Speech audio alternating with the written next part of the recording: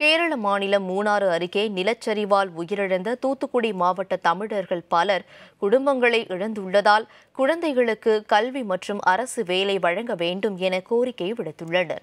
மூணாறில் நிலச்சரிவு ஏற்பட்ட பகுதியில் தூத்துக்குடி மாவட்டம் கோவில்பட்டி அடுத்துள்ள கயத்தார் பாரதி நகரைச் சேர்ந்த இருநூற்றுக்கும் மேற்பட்டவர்கள் வசித்து வந்துள்ளனர்.